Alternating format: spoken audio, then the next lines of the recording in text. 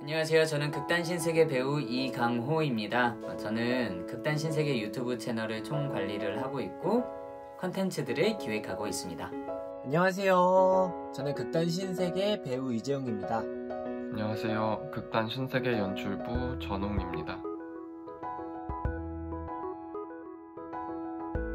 코로나19로 관객분들이랑 소통할 수 있는 기회가 줄어들게 되면서 어떻게 하면 다른 방법으로 관객분들이랑 소통할 수 있을까? 라는 고민에서부터 극단 신세계 유튜브 채널이 활성화가 됐고요. 신비로그 같은 경우에는 극장 외에 다른 곳에서 관객분들이랑 소통할 수 있다면 어떻게 될까?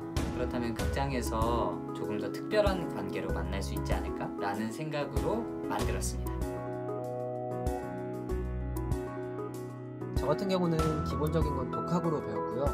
더 편집을 잘 해보고 싶어서 책을 또 구매하고 유튜브에 있는 많은 영상들을 보면서 영상 편집 기술을 배웠습니다. 처음에는 대학교 과제하면서 그냥 어깨너머로 배웠던 것 같고 요즘에도 극단 작업하면서 계속 유튜브로 배우고 있습니다.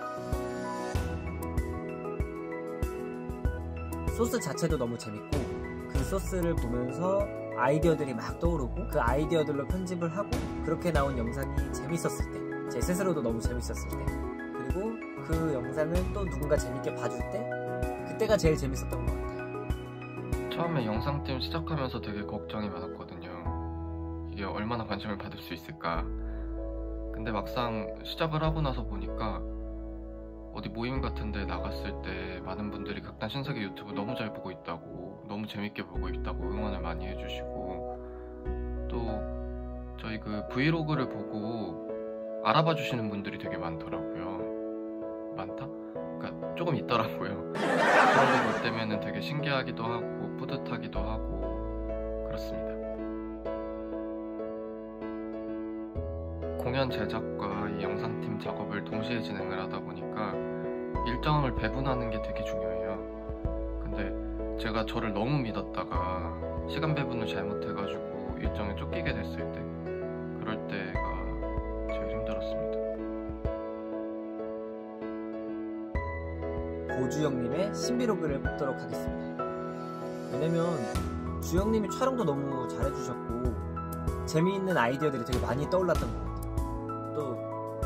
또 결과물로 나온 영상이 제 나름 잘 만들었다고 생각해서 재밌어서 아직도 가끔 봅니다. 제가 만든 건 다 기억에 남습니다.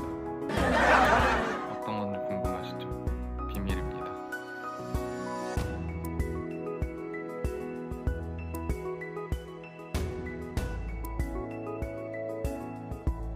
저희가 사실 지금 김수정입니다라는 공연 극장 작업을 그러다 보니까 제가 이 영상을 찍어가지고 민재님한테 보내드려야지 얼른 제작을 하시는데 안녕하세요. 연출부 서민지입니다.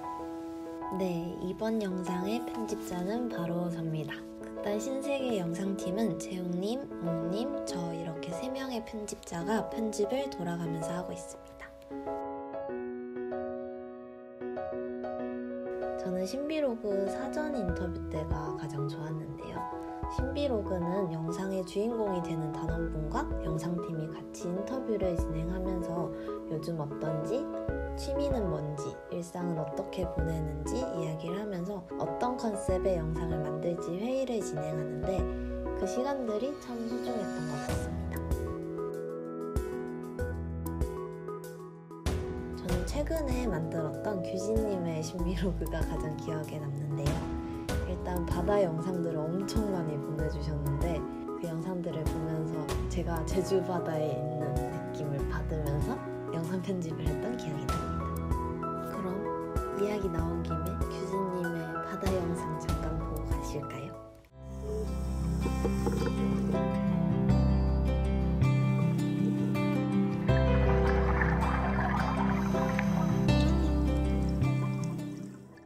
유튜브로 다시 찾아올 극단 신세계 많은 기대 부탁드립니다. 구독, 좋아요, 알림 설정까지. 잊지 마세요.